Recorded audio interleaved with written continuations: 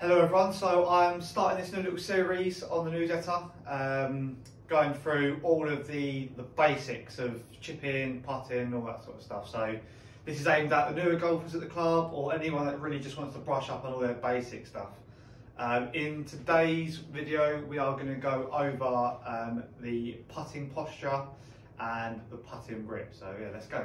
Right, so putting posture, you just want this to be as comfortable as possible. So what I want you guys to do, feet shoulder width apart, stand up nice and tall and just relax the arms. Just like this, nice and tall.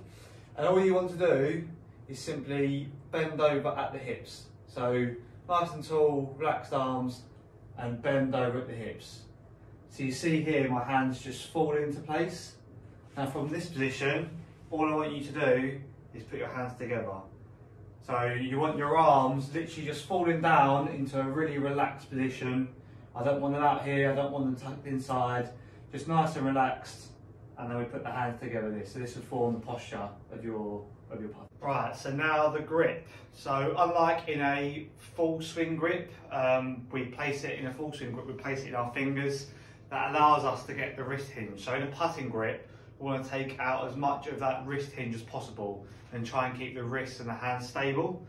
So how to, put, how to grip a putter, um, if you hold the putter out in front of you like this, you want to be gripping it, I'm just trying to show you, in the palms instead of the, the fingers. So right up in the palm up here. So your grip, your left hand grip is almost facing around to the left. And then with the right hand, it's simply exactly the same, but on the opposite side. So up in the palm on the right side. Um, to start with, you can just try simply just baseball gripping it. I like to see the left finger just down the uh, just down the the right hand fingers there. So yeah, left hand on the left side, right hand on the right side like this, up in the palms, and that just allows you to take the wrists out and move your whole arm in one one motion.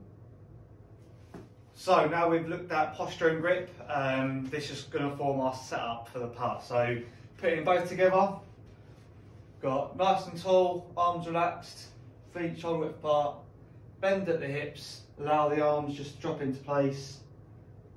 And then from there, just like I just showed you, left hand left side, up in the palms, hand right hand on the right side. And that's just formed your basic putting posture and grip.